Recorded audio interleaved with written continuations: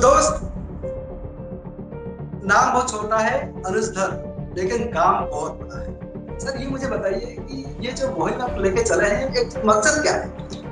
नहीं मकसद कुछ नहीं। देखिए ऐसा होता है कि कोई डिसाइड नहीं करता ये अपने आप चीज़ें होती हैं। मैं सारे देश में सब जगह जाता हूँ करके। उड़ीसा में आज तक नहीं हो पाया पता नहीं क्या किस्मत खराब है कि जो नेताजी का जन्म स्थान है वहाँ जाने का मौका नहीं मिला। 1945 के बाद एक्चुअली हुआ कि नेताजी की डेथ को लेकर के तीन थ्योरियाँ हैं।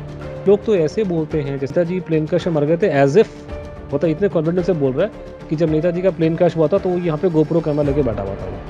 हैदराबाद में उनका जो सीक्रेट लाइफ था उसके बारे में सर आपका रिसर्च क्या है? नहीं नहीं आप तो मुझे पूछ रहे हैं जिसके पर मैंने नौ सौ बनने की किताब लिखी है तो इतना मोटा किताब लिखा है नौ सौ बनने का कनेंडम करके तो तो तो सर क्या ये बात सच है कि वो पूरी भी आने का उनका प्लान था? कि जब उनको शिफ्ट करने की बात हुई थी तो उनको बोला था कि उनको वहाँ शिफ्ट कर उसने कहा नहीं वहाँ मुझे लोग बचाएँगे सर नेताजी के जो कैंपेन्स है गांधी जी को गांधी जी को ब्रांड को खतरा। ये बेसिकली सारी लड़ाई की जड़ ये है कि जो गांधी ब्रांड है वो यूरोप अमेरिका में चलता है।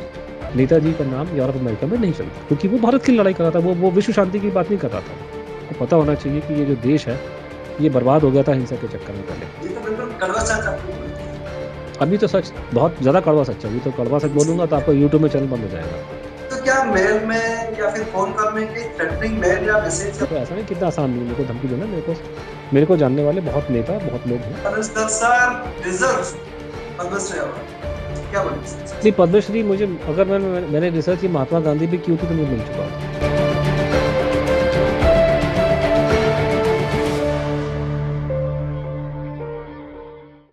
नमस्कार दर्शक बंधु। मु सत्य।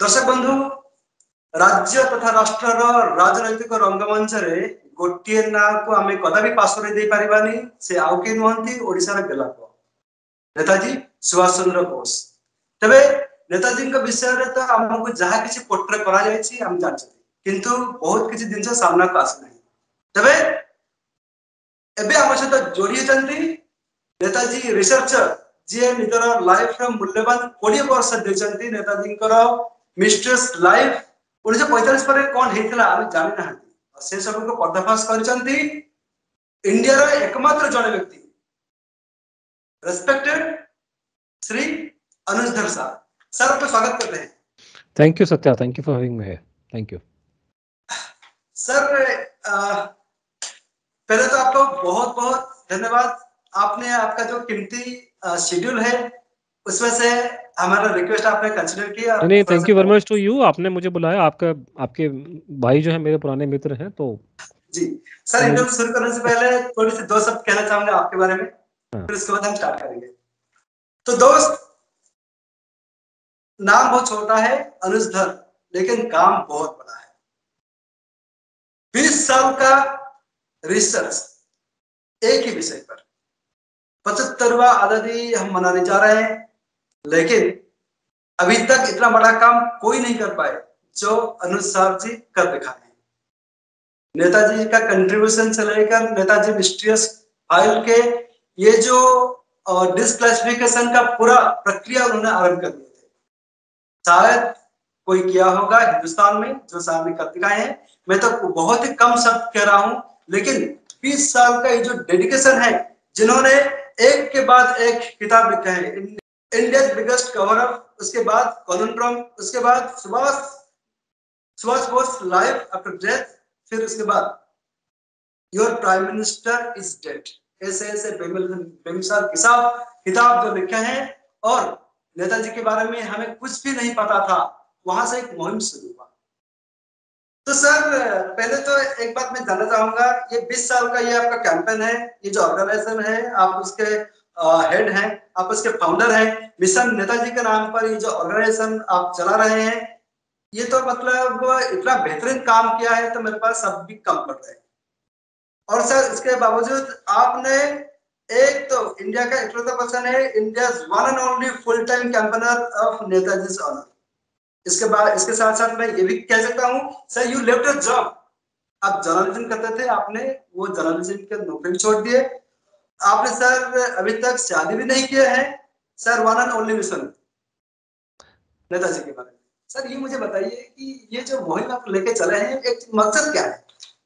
नहीं मकसद कुछ नहीं। देखिए ऐसा होता कि कोई डिसाइड नहीं करता ये अपने आप चीज़ें होती हैं। मैं जो आप सारी चीज़ें मेरे बारे में बता रहे हैं वो सब चीज़ें इसमें से कुछ मेरी चॉइस नहीं थी मेरी। वो वो सरकमस्टेंसेस ने मेरे पे आ, मेरे पे लेकर आ गए। लेकिन जो आप बोल रहे कारण ये था कि मैं आ, आ, मेरे कहानी मेरी ऐसी जाती कि मेरे जो दादाजी थे मेरे ग्रैंडफादर जो थे वो ब्रिटिश इंडियन आर्मी में थे। और मैंने उनको कभी देखा नहीं उनकी फ़ोटो देखी थी उनकी शक्ल मुझसे मिलती थी तो उनकी फ़ोटो वोटो देखी थी मैंने शक्ल को कभी देखा नहीं मेरे से मेरे पैदा होने के पहले वो चल बसे थे। तो मेरे ग्रैंडफादर जो थे सेकेंड वर्ल्ड वॉर जब हुआ है आपकी जो अंग्रेज़ों की आर्मी में जो ये ज़्यादातर भारतीय थे वहाँ पे। तो पहले वो अफ्रीका में गए लड़ाई लड़ने के लिए वहाँ जर्मन फोर्सेज से लड़ाई उनकी हुई होगी मेरे ख्याल से। उसके बाद में उनको बोला गया कि आप जापानियों से लड़ने के लिए आपको कोहिमा में जाना है। अब उस टाइम पे 1944 के आसपास में ये कोई भारत में कोई पब्लिसिटी या किसी को नहीं मालूम था कि नेताजी कहाँ पर है। 1941 में जब वो देश छोड़ के गए हैं और इनफेक्ट आज ही का दिन है, आज जो आपकी मेरी बातचीत हो रही है, आज ही 16 जनवरी की रात को नेताजी कलकत्ता से भाग भाग, यहाँ से निकल गए थे, यहाँ से चुपचाप से।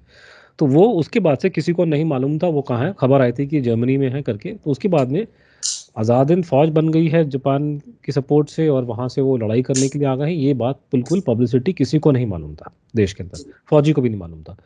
तो ये जब लोग इनको बोला गया कि आप, हुक्म हुआ कि आप लोग जाके जापानियों से लड़ेंगे और ये जापानियों के पास में वहाँ से पहुँचे हैं, कोहिमा में तो वहाँ जाके उनको मालूम चलता है कि वहाँ पे जापानी नहीं है, वहाँ पे तो हिंदुस्तानी है।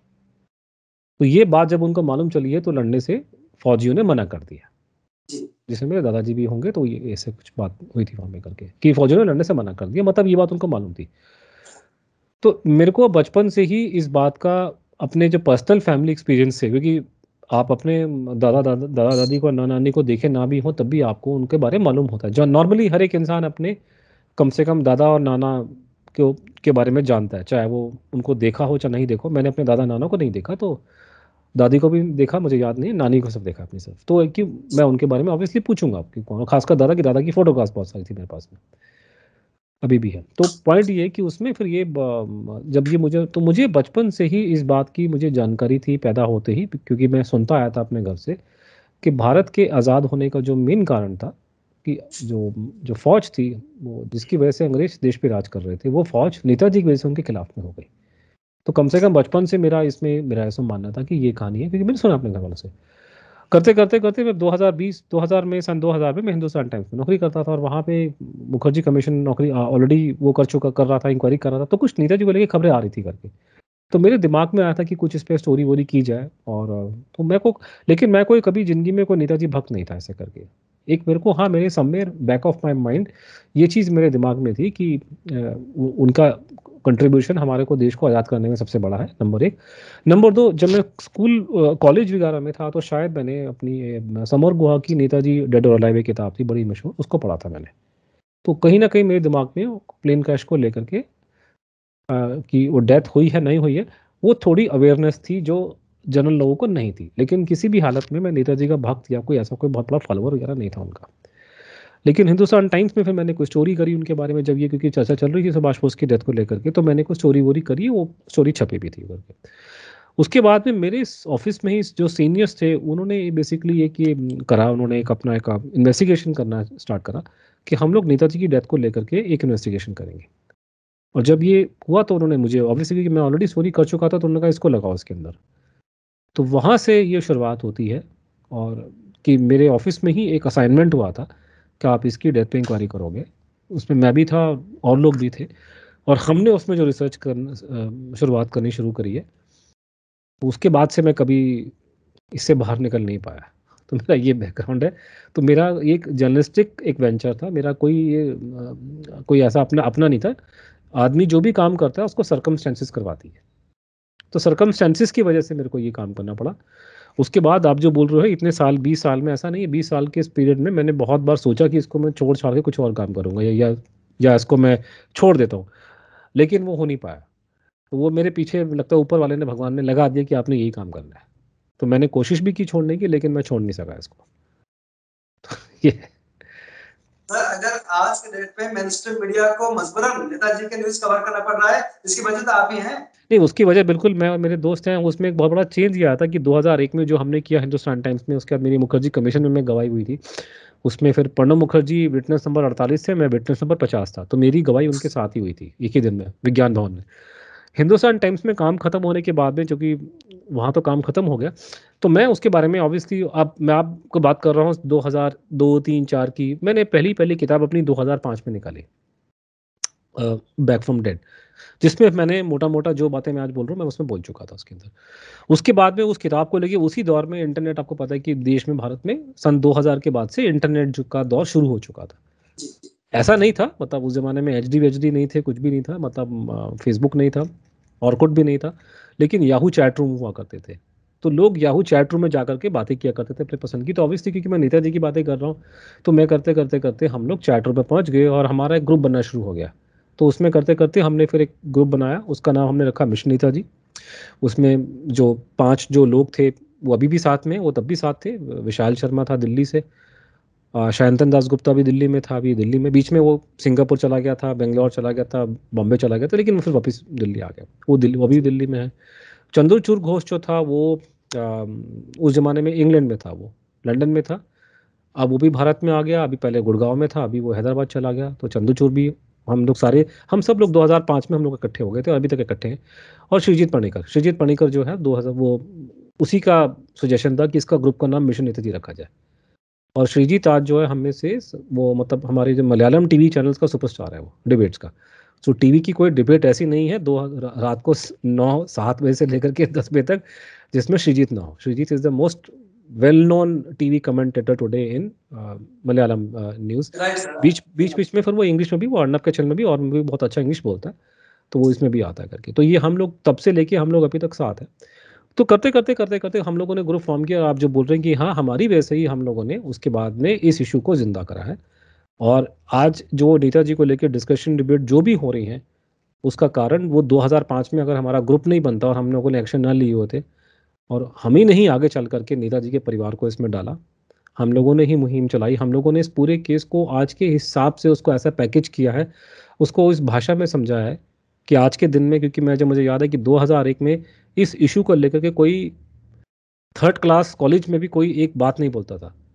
आज ये हालत है कि मैं आई में लेक्चर दे चुका हूँ, मेरे एमआईटी बॉस्टन में लेक्चर हो गया लंदन बिज़नेस स्कूल में लेक्चर हो गया मेरा, और मेरे लेक्चर्स बड़े बड़े लोग सुनने आते हैं उसमें और सारे देश में सब जगह जाता हूँ करके। उड़ीसा में आज तक नहीं हो पाया, पता नहीं क्या किस्मत ख़राब है, लेकिन सारे देश में और विदेश में कईयों जगह पर मैंने लेक्चर दिए हैं करके।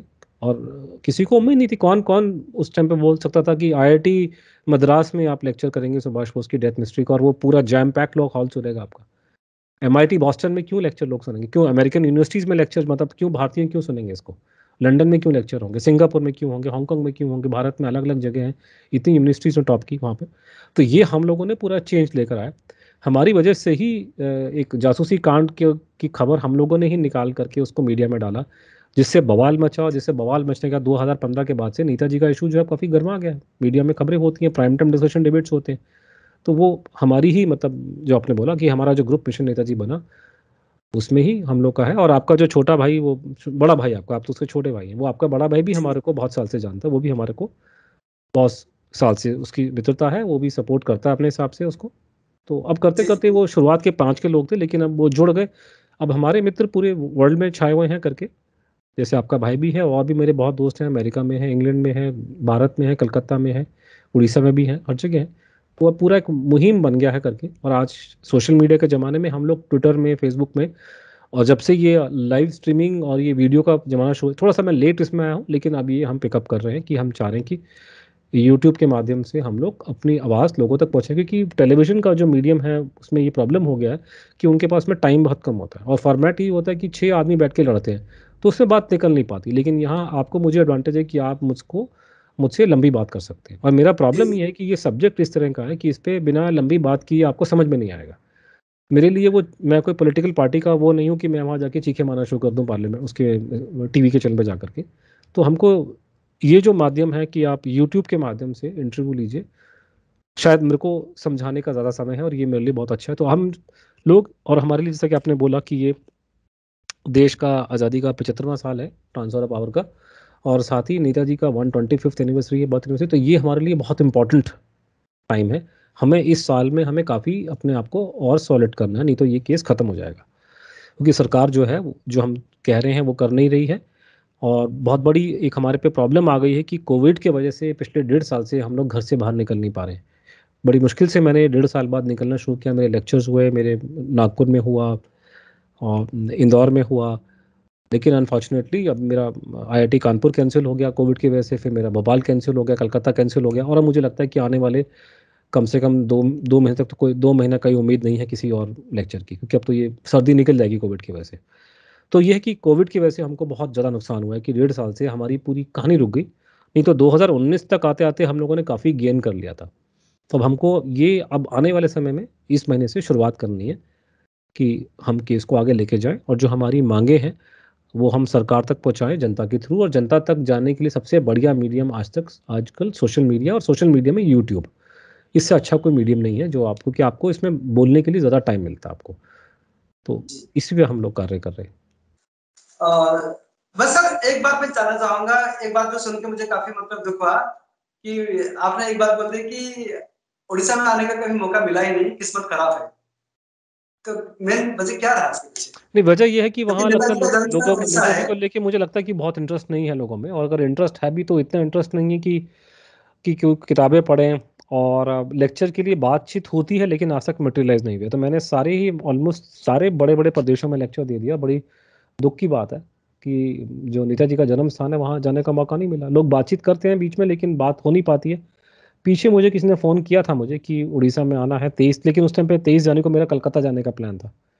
तो मैंने कहा नहीं तेईस को तो आप मुझे मत बोला कि तेईस को तो मैं अवेलेबल नहीं हूँ। अब उसके बाद कोविड का अब तो अब तो मैं इस साल की बात कर रहा हूँ तो कोविड का। लेकिन somehow for whatever one reason और दी अदर मेरा प्रोग्राम मेरा लोगों ने कोशिश भी करी होगी लेकिन उड़ीसा में शायद लोगों में इतना इंटरेस्ट नहीं है इस केस को लेकर के। देखिए मेरा मानना है क्योंकि मुझे समझ में नहीं आ रहा कि इतना मैं करता हूँ, लोगों से बातचीत करता हूँ। जब भी मैं विदेश में भी जाता हूँ तो विदेश में मुझे भारत के लोग मिलते हैं ना, वही प्रोग्राम करवाते हैं वहाँ पे। तो बंगाल के लोग आते हैं, महाराष्ट्र के लोग आते हैं, वहाँ भी मुझे उड़ीसा के लोग कोई खास नहीं नज़र आए, कोई मुझे याद नहीं पड़ता कोई उड़ीसा से मुझे मिला हो अमेरिका में या इंग्लैंड के अंदर। लेकिन दूसरे प्रदेशों के लोग मुझे मिलते हैं। तो ये बड़ा दुख की बात है कि नेताजी का जन्म स्थान वगैरह में कोई इसको इशू को लेकर के कोई खास इंटरेस्ट मुझे तो नज़र नहीं आ रहा। अब उस समय आपको झूठ की बोलूँ आपको मैं?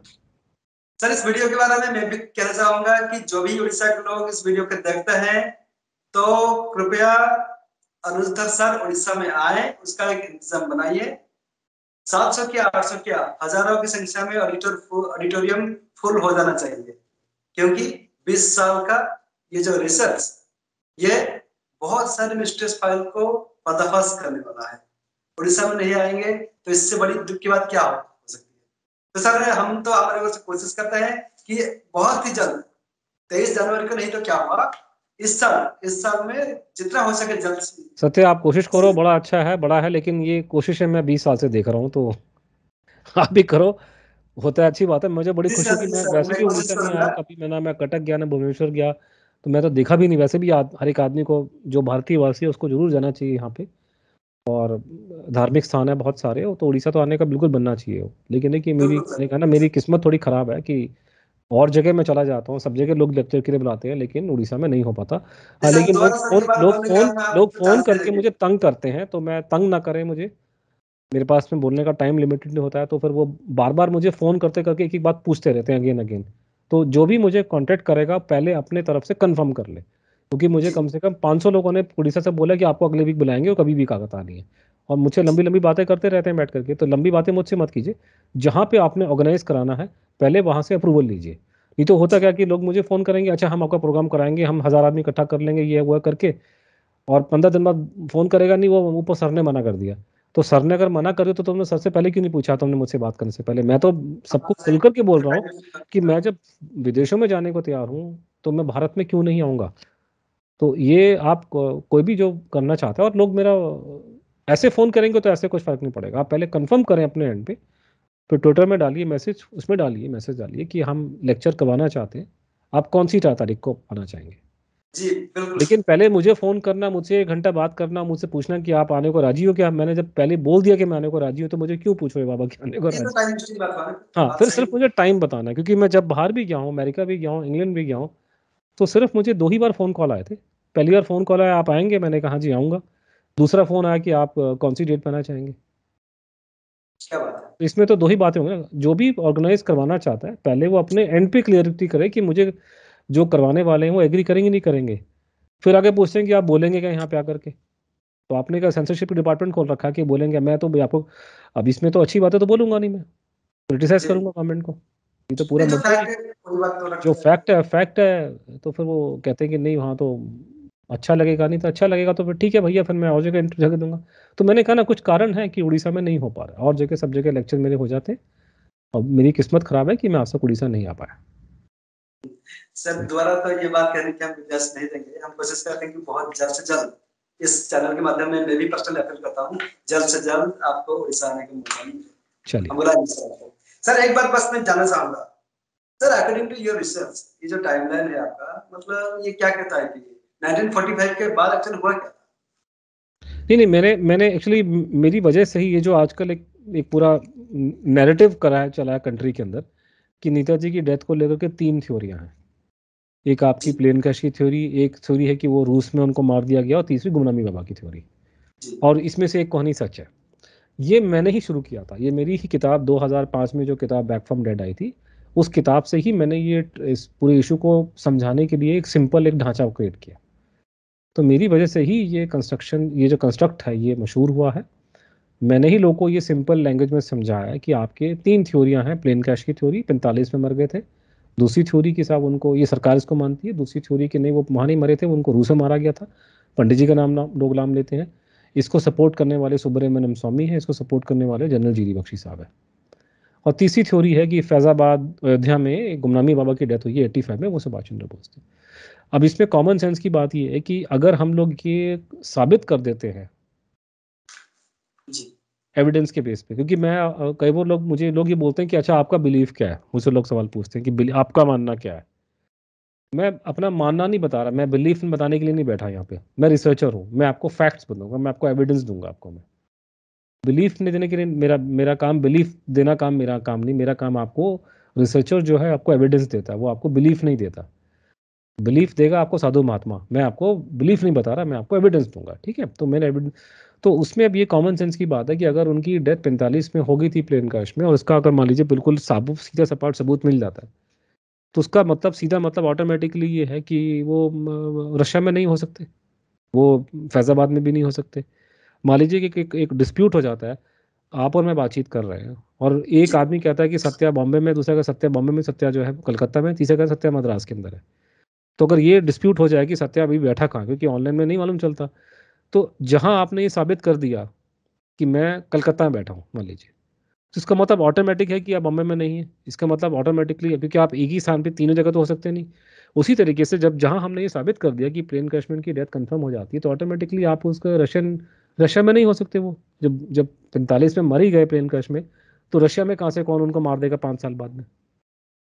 वही वही बात है कि अगर आपने ये साबित कर दिया कि वो रूस में थे, वहाँ उनको मार दिया गया तो वहाँ कहानी ख़त्म हो जाती है। और उसी एग्ज़ाम्पल को आगे बढ़ाते हुए अगर आपने ये साबित कर दिया कि एविडेंस ये दिखा रहा है कि वो भारत में थे 1975 में 70 में 84 में।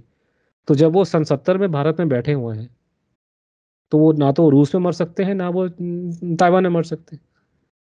तो मैं उस पर एविडेंस के ऊपर चल रहा हूँ तो एविडेंस पे जो कहानी है वो ये है कि पैंतालीस पे जो एविडेंस है, वो सारा का सारा जिसको हियर से कहते हैं इंग्लिश में, सुनी सुनाई बात, कि कुछ लोगों ने क्लेम किया था कि वो नेताजी वहाँ पे थे, मर गए। लेकिन उसका एविडेंस उनके पास में कुछ नहीं है।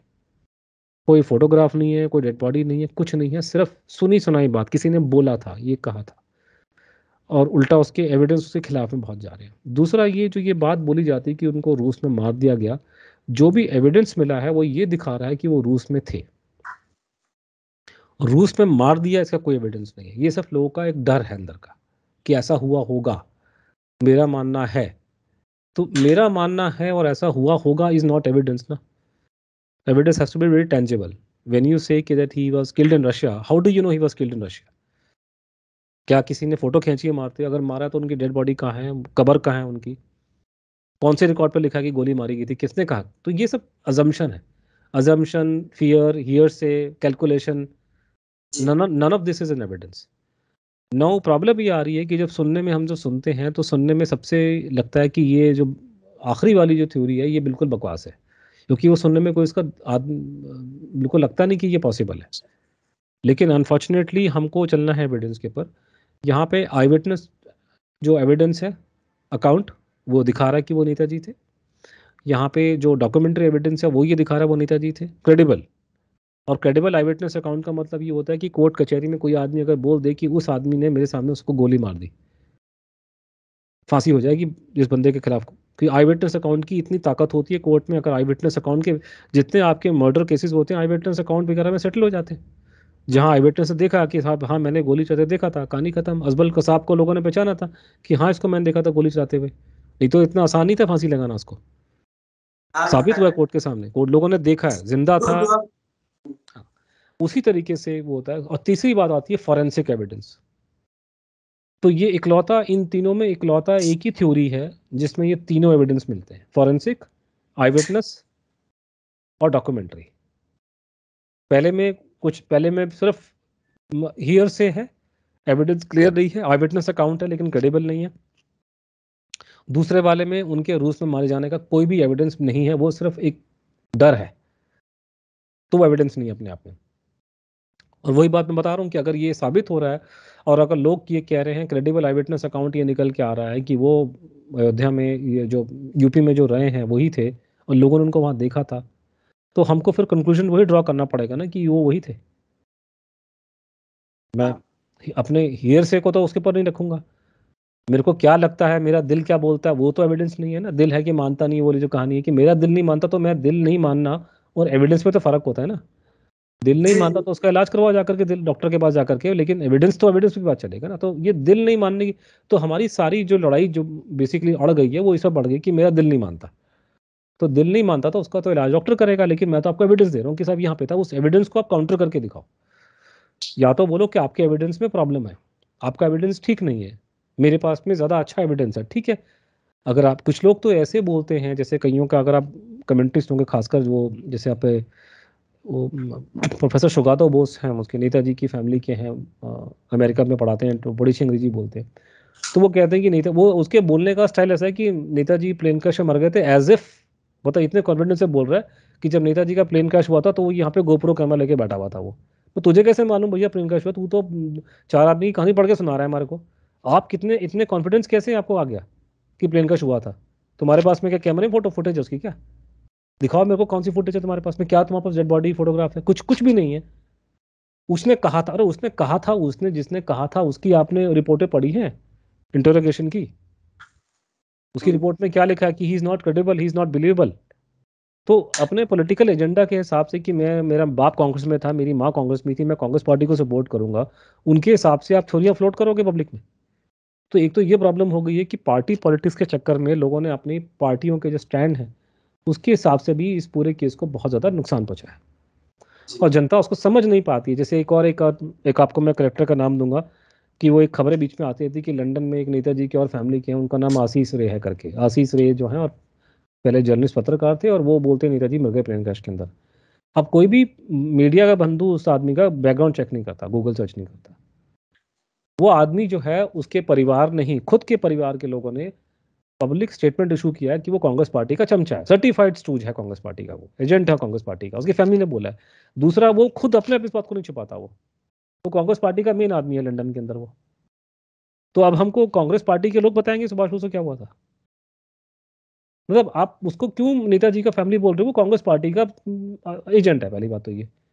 तो इस तरह के लोग जो अपनी, अपना पार्टी का स्टैंड लेके आ रहे हैं और पब्लिक को मीडिया ये नहीं समझा पा रहा मीडिया नहीं मीडिया को बस वो तो यही चलते हैं कि वो हमारे बॉस का दोस्त है तो ठीक बोल रहा होगा।